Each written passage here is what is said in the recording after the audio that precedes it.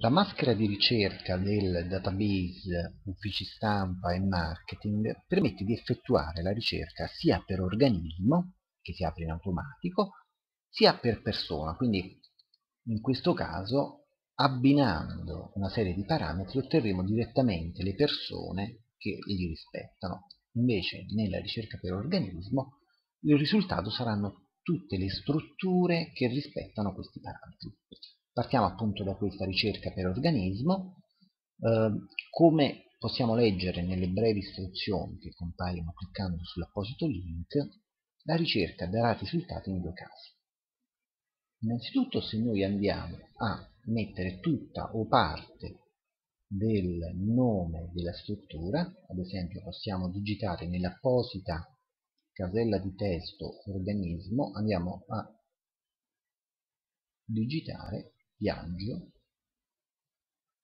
diamo ricerca.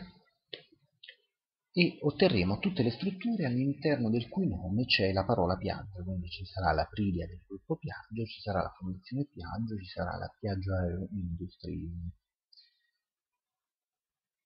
Uh, altra possibilità,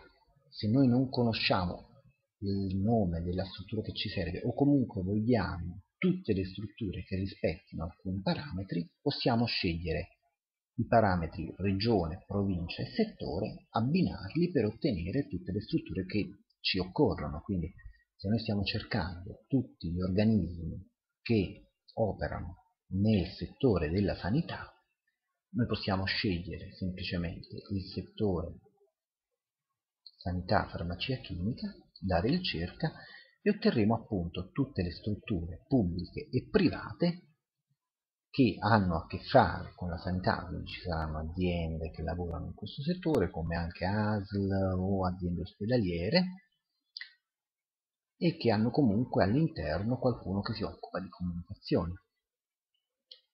In questo caso possiamo ad esempio scegliere la prima, la 3M,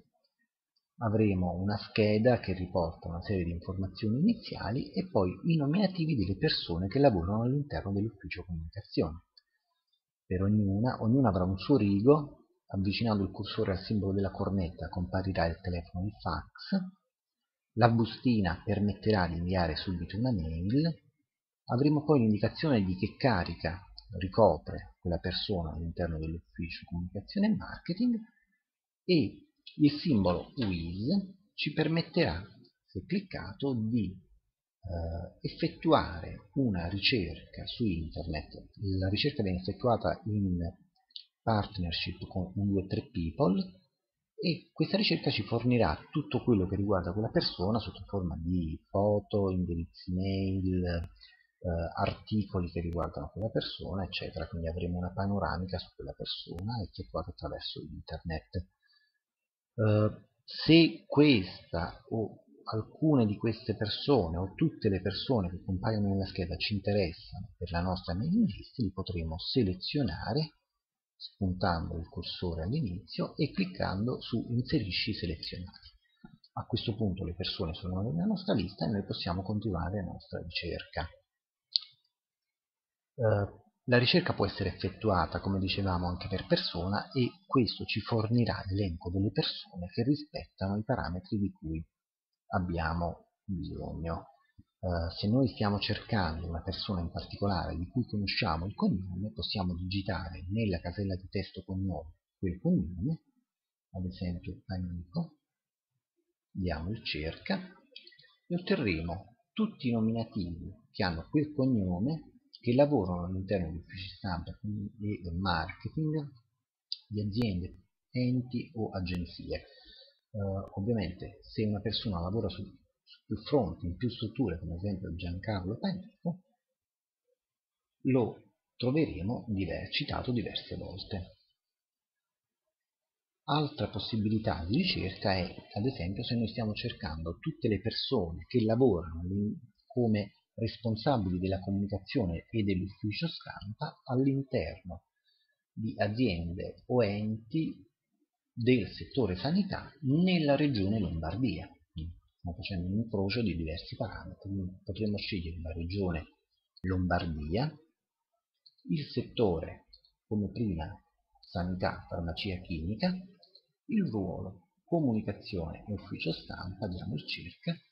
e otterremo appunto tutti i nominativi dei professionisti che si occupano di comunicazione ufficio stampa all'interno di enti o aziende del settore sanitario ubicate nella regione Lombardia.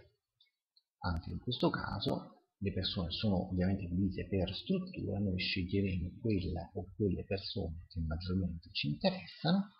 e alla fine della schermata andremo a dare l'istruzione di inserirli nella lista su cui stiamo lavorando. Una volta che abbiamo scelto tutte le persone che ci servono, abbiamo completato la nostra lista, abbiamo due possibilità. Possiamo decidere di cambiare lista o cambiare la database cliccando su nuova lista qui appunto in questa schermata potremo avere